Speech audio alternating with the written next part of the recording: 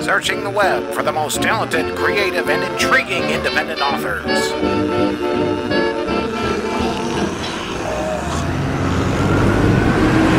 Man, those are all people I know.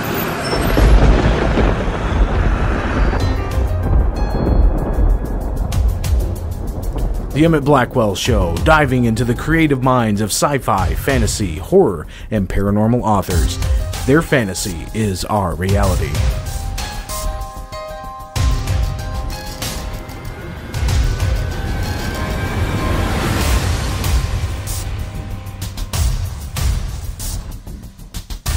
Welcome once again to the Emit Blackwell Show. I want to thank you all for listening, and don't forget to like, share, and subscribe to this channel. It really helps get the author's name out there. On this episode, I will be speaking with the author of the Zombie Road series, David A. Simpson. We discuss his inspirations, how he was able to write five books in just a year and a half, and what he has planned for the future of the series. We will also quiz him on his zombie trivia knowledge at the end of the show, so stay tuned for that. So, without any further ado, let's explore the post apocalyptic mind of David A. Simpson. Zombie Road by David A. Simpson. The people that tried to kill the world were fiendishly clever. After decades of planning, the contagion was unleashed, and overnight, hundreds of millions died and came back as rampaging undead monsters.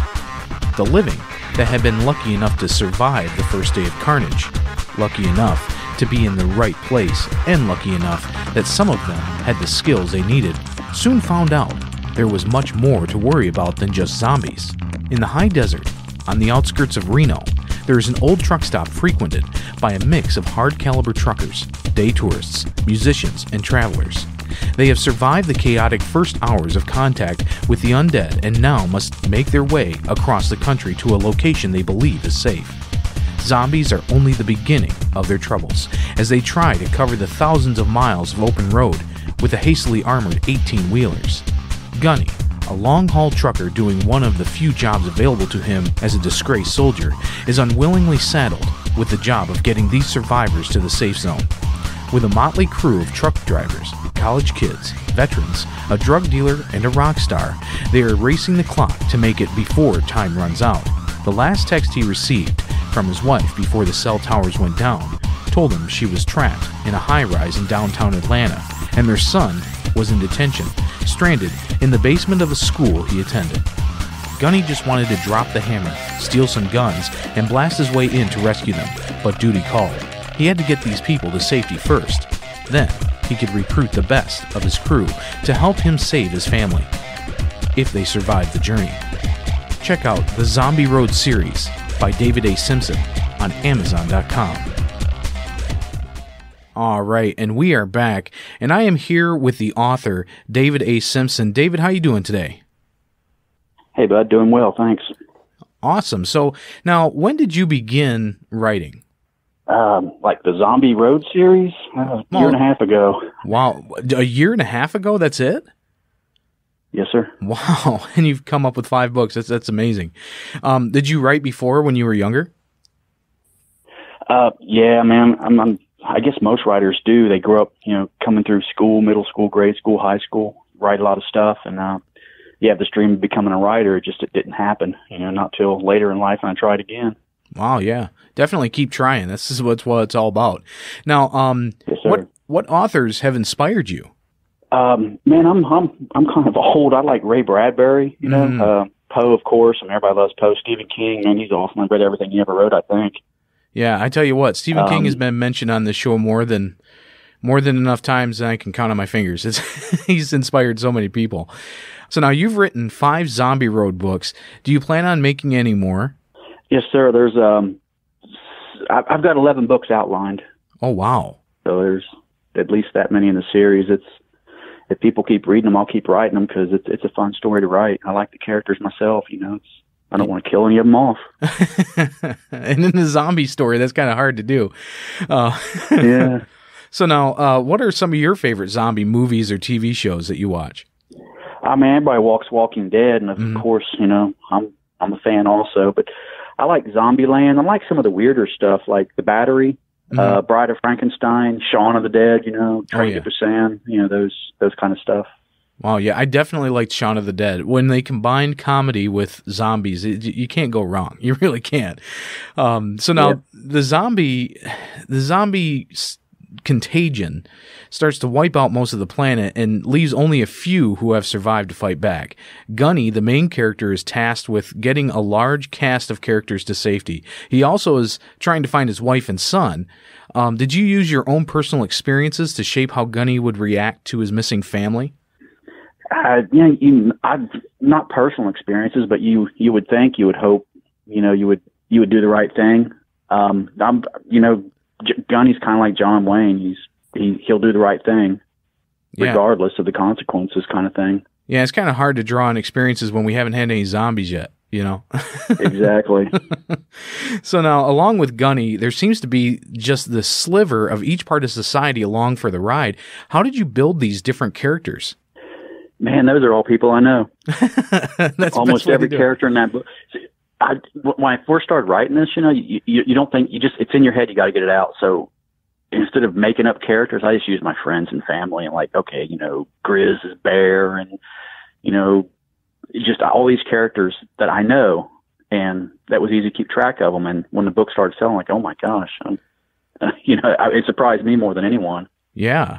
Zombie Road 2, Bloodbath on the Blacktop, picks up where the last one left off. Did you add any more characters to the mix? Uh, there's a few that come in here and there. There's one super bad guy who who who joins the caravan in the second book, and he's he's a pain in their he's a thorn in their side all through the rest of the books. Sweet. So now, after the second book, there was a coloring book that you created, right? Um, yes, sir. It didn't actually come out until probably after the fourth book. It took a long time to get it done, but Oh, we yeah. started doing it a while back. Yeah, and you teamed up with an artist. What's the name of that artist? Oh man, Wahoo Widodo. He's from um, Jakarta. Oh, yeah. and I found him on the internet, man. Just he's wow, I, he, he's talented. He's got mad skills.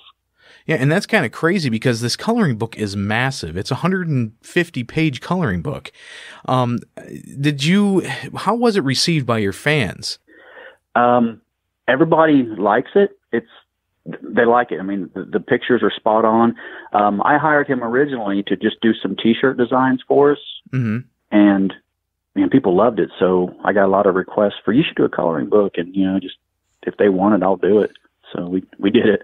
Yeah, it sounds like an interesting way to kind of market your book. Do you, do you think it kind of helped with your marketing? Um, it just came out, gosh, a couple of weeks ago, so I don't know, but I'm hoping. You know, we have a, um, I have a big booth at Walker Stalker this weekend in Atlanta, and I'm tearing pages out of the coloring books and letting all the kids color and hang them up, and you know, we'll have a contest. A winner gets some, you know, some mad swag or something, and so you know, it's it's anything can help, I suppose. Nothing hurts, right? Yeah, definitely. And that's actually, you know, for anybody who's out there who's listening, if you're creating a book series, um, a coloring book is a very creative idea.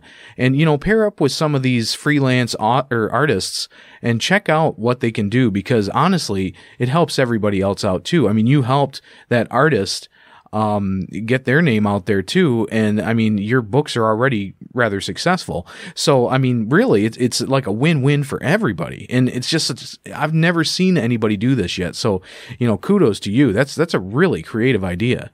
Well, thank you. My producer, Minch, I, my producer, I, I have a agent out in Hollywood who's trying to sell the books to movie, and he said we should get some um, stills drawn up. I said, well, I'm doing a coloring book, man. Just hang on, and I'll send you some coloring books, and you can pass around to, you know, give the creatives uh, an idea of what the what the world's going to look like, the characters, the cars, the trucks, because it's it's kind of Mad Maxish, you know. That's got Yeah. all these zombie cars they build, and it's that's that's all part of the the allure, I think, or the the draw to the, this particular series of books. Yeah, the way that they take a big rig and just outfit it with all kinds of stuff, and even the cars. yeah. I mean, the it's it's an amazing way of looking at a post-apocalyptic world because you're you're pulling these parts and things that you know nobody's going to use. It's all just junk to somebody else, but to these guys, it's protection. You know, so that's that's a really cool way to do it. Now.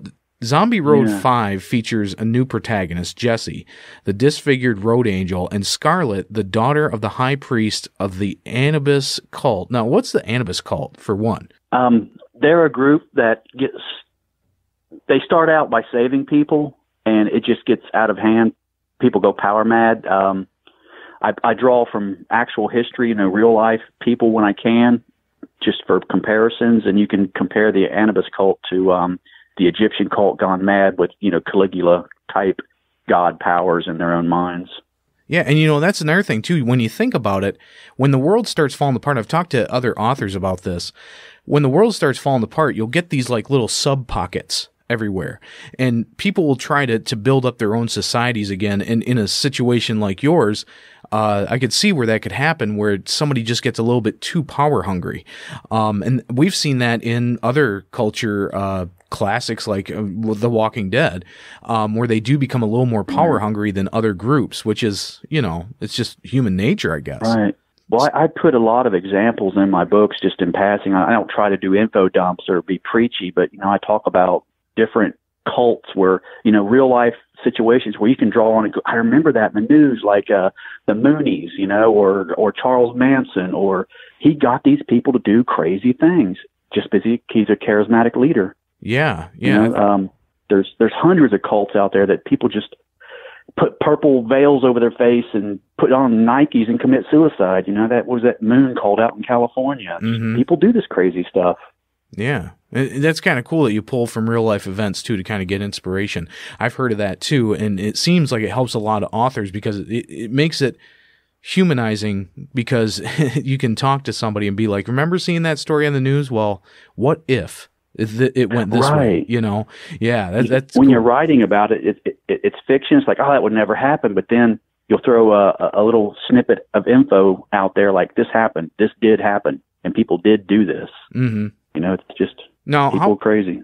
Now, how would you describe the relationship between um, Jesse and Scarlet? The, at the end of book five, it's very rocky.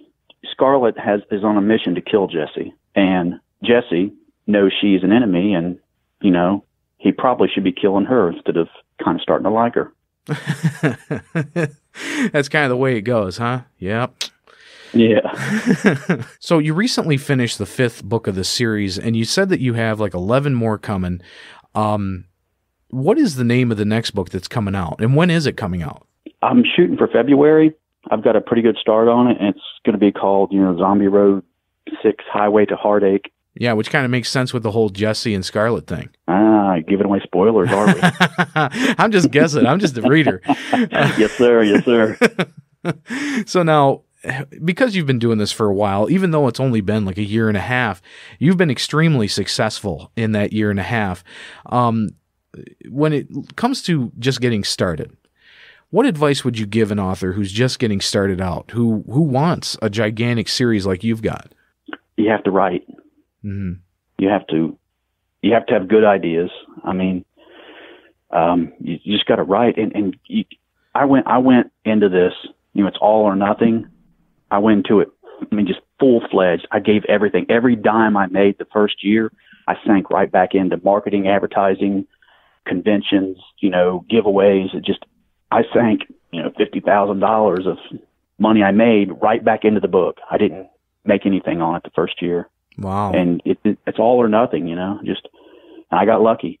Yeah. I know it's, there's better writers than me out there. It's just, I don't know. I had the right people the right something just it clicked with people, and I'm just I'm just one of the lucky guys. But anybody can be lucky. You know, anybody can make it. Yeah, and that's another thing too is you you talked about that you didn't really make any money until after the first year, which isn't uncommon for anybody in any type of business or being a creative in any way.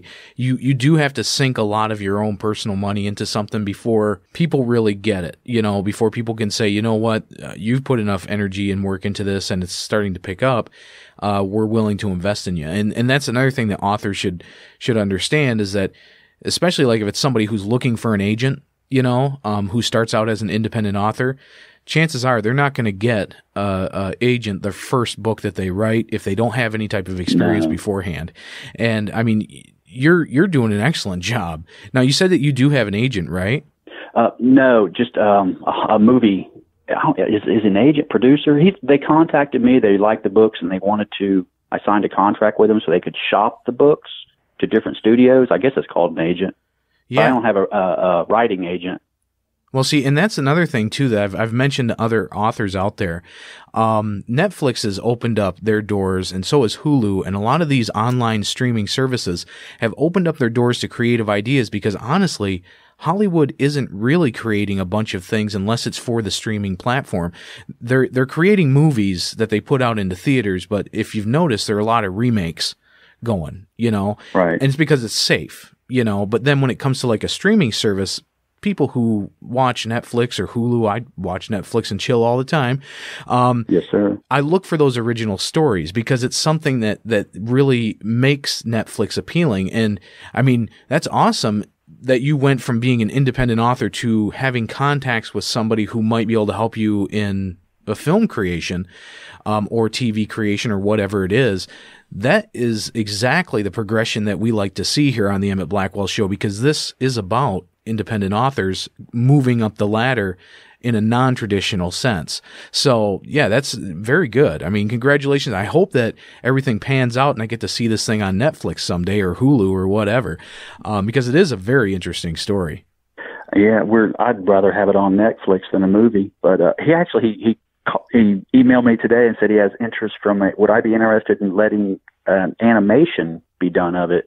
I'm like, like Saturday morning cartoon animation or you know manga anime kind of thing. But we haven't talked. that- That's an idea. I mean, people. I mean, that's another option for writers and stuff to get it animated. Oh yeah. stories.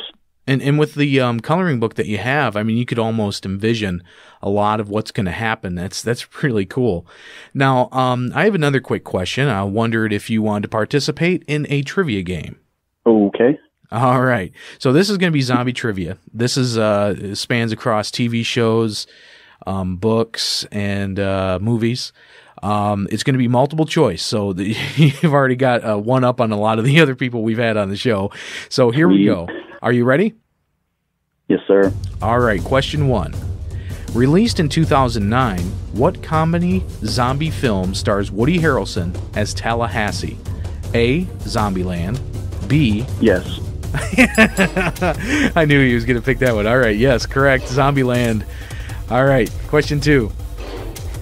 Who plays the role of Olivia Liv Moore in the American TV series iZombie? Is it Ali Michalka, Jennifer Morrison, Rose McIver, or Heather Graham? Oh my gosh, I haven't seen that show. Heather. No, incorrect. No, the other one. No, the other one. The other one. Yes, the other one. That's the one. That's the one. That's it. Yeah. Did I get it? No, you didn't get it. That's okay. It was Rose McIver. I didn't know that either because I I'm, I. I haven't watched it yet either. So okay, here we go. Um, the next one. You can redeem yourself, so don't worry. Airing on Syfy, what comedy drama zombie TV series features Murphy, the only known survivor of a zombie bite? Is it A. Fear of the Walking Dead, B. Ash vs. Evil Dead, C.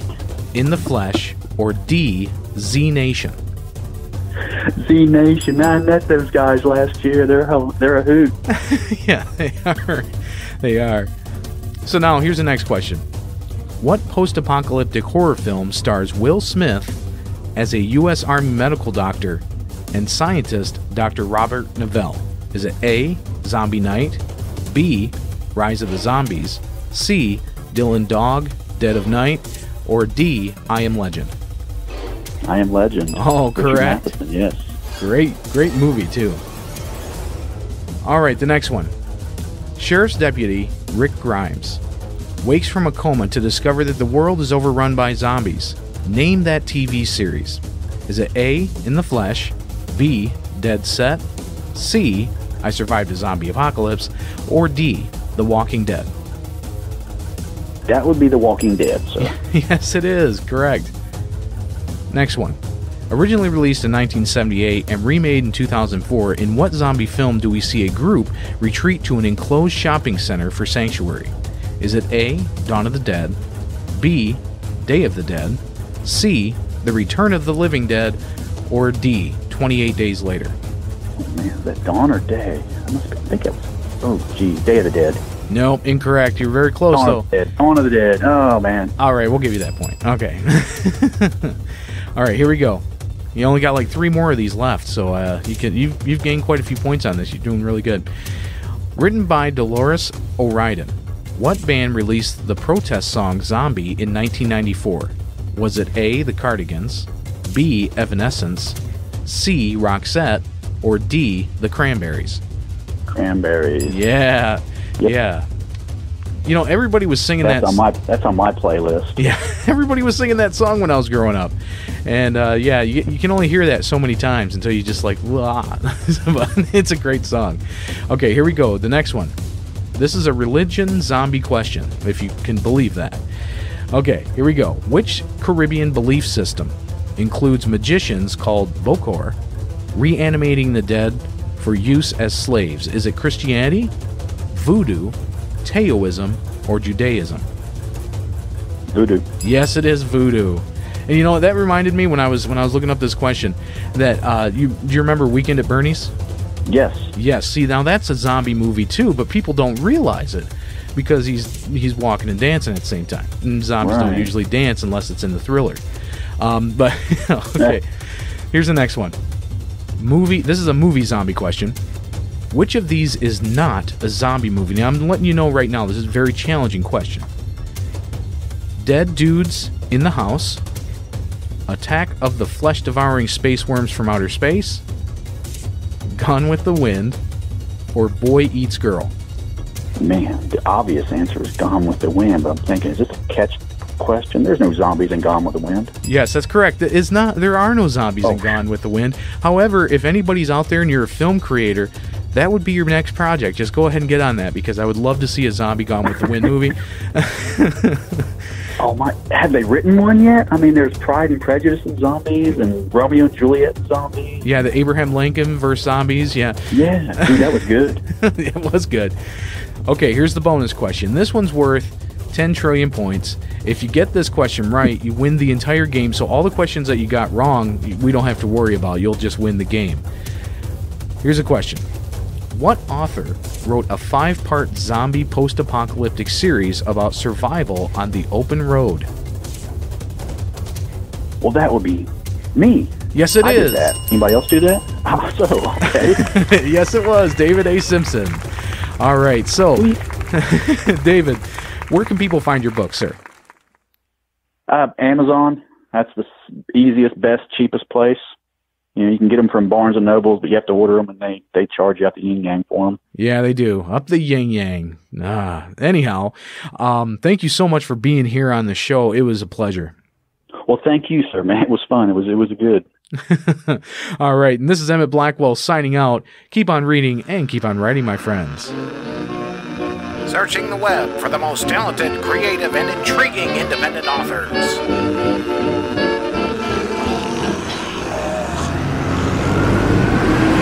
Man, those are all people I know.